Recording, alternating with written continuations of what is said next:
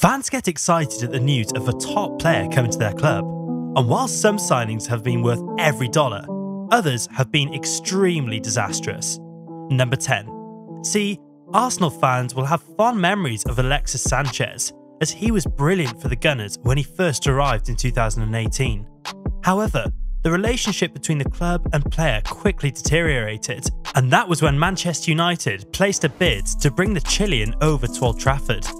Unfortunately, Manchester United were too quick to swoop in, as they should have evaluated Sanchez's loyalty and form before paying as high as £18.2 million for the striker.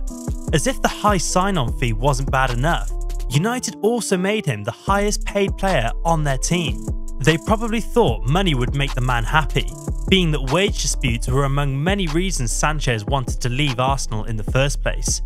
Sadly, Sanchez didn't care if you paid him a gazillion dollars a week, because his performances at his new club showed that lacked commitment and determination. His form became so poor that he managed just 5 goals in over 2 years as a United player. He didn't even try to show any real zeal on the pitch. For Sanchez, if it was going to be a bad day, then so be it. At least showing a little bit of commitment would have put him on the good side of the fans, but since that was not forthcoming, Sanchez will forever be remembered as a United villain. And to think that Ander Herrera, who was one of United's most vibrant players, left because of Sanchez makes his transfer even more regrettable. Number 9. Thankfully, not all disappointing signings were as nonchalant as Sanchez, as Andy Carroll is a good example of this. The former England international was superb during his time at Newcastle, and being the hottest striker in the league at the time, it came as no surprise when Liverpool came calling. To the delight of Liverpool fans, the transfer was finalised in the summer of 2011, and it cost a jaw dropping £35 million. It's true this amount of money might seem small nowadays, but it was actually a big deal back then. Now a Liverpool player, Carroll couldn't wait to get on the pitch and score the goals for his new club. Liverpool were also without a league title for a long time, and Carroll was expected to be the man to fire them to the top of the table. Sadly, the fairy tale story didn't go as planned. Carroll was prone to injuries, and this caused him to miss out on more matches than he would have cared for. Even when he played, he seemed half fit and was never able to blend into the Liverpool way of playing football. The big English striker spent three years at the club, and you would expect that he would score at least 20 goals per season during his spell. Horrifically, Carroll only scored 6 goals for Liverpool, and that meant £35 million had gone down the drain. Number 8.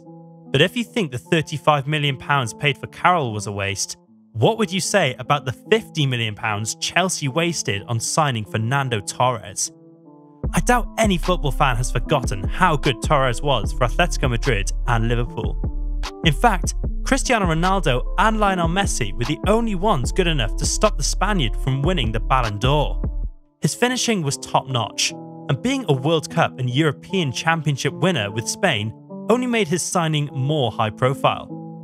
Well, not until he came to Chelsea and struggled to find the back of the net match after match. Torres' form got so bad that Chelsea defender David Luiz once prayed for him on the pitch so he could rediscover his scoring form. But even prayers didn't work, as Torres only managed 20 goals in 110 matches for Chelsea. There was a little bit of consolation for the Chelsea fans though, as one of those 20 goals was the one that helped Chelsea knock Barcelona out of the 2012 Champions League, which Torres and Chelsea eventually won. Number 7. So, have you guys heard of Chelsea's striker curse? Well, it seems that curse is real, because before Torres, there was another flop in the number 9 position, and I'm talking about none other than Andriy Shevchenko. Of course, the £30 million Chelsea paid AC Milan for his services doesn't match Torres' £50 million price tag, but their woeful performances are very much the same.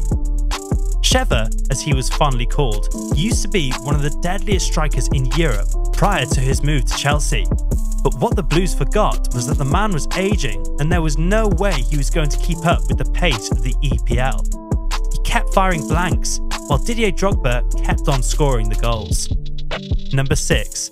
Another player who seemed to have forgotten where the goal was after making a big money move is Jackson Martinez, who switched from Porto to Atletico Madrid in 2015 for a significant fee of £35 million.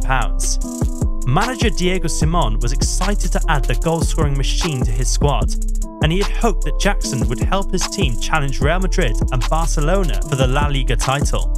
That was not to be though, as the new man struggled to blend into Atletico's style and find the back of the net on multiple occasions. His irresponsibility on the pitch also angered his coach, and after a full season of booze, the fans no longer wanted him at the club. Jackson was gone after just one year, and I'm sure Simeone regretted spending such a huge amount of money on one of the most disappointing signings in the club's history. Number 5. The next player in our video can't be called irresponsible, but he was certainly a massive disappointment. He's Gaizka Mendieta. Until this day, Lazio regrets paying £47.7 million for the once electrifying midfielder. Mendieta's move from the La Liga to the Serie A was met with high expectations, but after his spell with the club, he only made as little as 20 appearances and scored zero goals. Number 4. Now Mendieta's move from Valencia to Lazio was just as regrettable as Angel Di Maria's move from Real Madrid to Manchester United in 2014. This transfer cost United 59.7 big ones, but later proved to be money poorly spent. Di Maria flopped at United for two major reasons a loss of form and recurring injuries while at Madrid. The question now is why did United go for him when they were aware of his condition? Number 3. While he tried to figure that out, another regrettable transfer comes to mind, and that's Roberto Soldado's move from Valencia to Tottenham in 2013. Of course, it wasn't the most expensive signing in the club's history, but it still cost around £26 million. Now, no one cares if a player is expensive, as long as they deliver as expected. But in Soldado's case, 7 goals in over 2 seasons is completely abysmal. Number 2. Yet, Soldado isn't the worst signing ever, not while Harry Maguire is still in the picture. The former Leicester City defender used to be rated as one of the best in the business, which prompted his big money move to Manchester United. But after four seasons of constant number one, even so, I'm sure Manchester United's regrets don't come anywhere close to how much Real Madrid regretted signing Eden Hazard. The Belgian was on fire for Chelsea, and Madrid didn't mind paying a hefty sum of £88 million for his services. But that's not all, as he was also made the highest paid player on the team with a £530,000 salary per week. Just so you know, this was higher than what club legends such as Luka Modric, Toni Kroos, and Casemiro were being paid.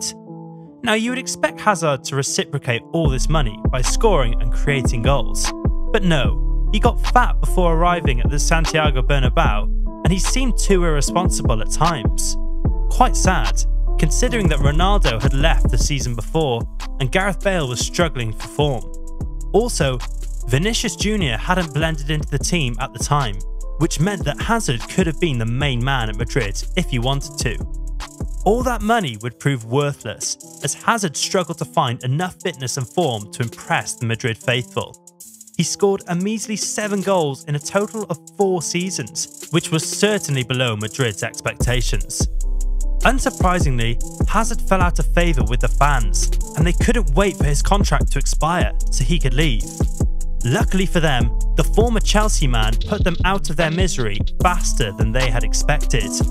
He announced his retirement in June 2023, thereby forfeiting the rest of his salary under a mutual contract termination. For Real Madrid, it was good riddance, but considering how much they had to cough out on Hazard's head, you wouldn't blame Florentino Perez for his regrets. But would you say Hazard is the most regrettable transfer in football history, or is there someone else? Share your thoughts in the comments below.